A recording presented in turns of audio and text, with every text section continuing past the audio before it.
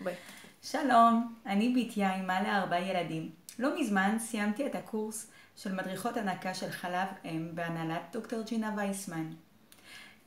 במקצועי אני מורה, אבל תמיד היה לי חלום.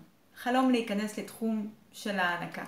את ארבעת ילדיי הנהגתי עד גיל מאוחר, ולמרות הקשיים ניסיתי לחפש, ללמוד, לקרוא מאמרים, אבל אתם יודעים, בזמן הזה לא היו קורסים לציבור הרחב, רק לאחיות. למזלי הכרתי אחות מאוד נחמדה מטיפת חלב, שאמרה לי, אל תדאגי, יום אחד תוכלי ללמוד את זה גם את. והשנה הרגשתי שזהו. השנה הרגשתי שזה הזמן שלי, שאני צריכה להירשם לקורס של חלב אם. היא אמרה לי, המליצה לי, אמרה לי, אם את עושה את זה, את עושה את זה רק אצל ג'ינה. וכך עשיתי. ומה אהבתי בקורס? אהבתי קודם כל את המידע הרפואי, את המקצועיות של המורות, של המדריכות, של המרצות, את השיח החברתי שהיה בכיתה.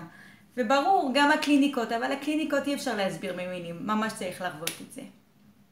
אז לסיום, אני ממש בתחילת אה, קריירה חדשה, ולגלות לכם משהו, אני הולכת עד הסוף עם זה, ואני מתחילה במסלול אה, IBCLC. אז תודה לג'ינה, תודה לקורס חלב אם, שפתח לי שער לקריירה חדשה.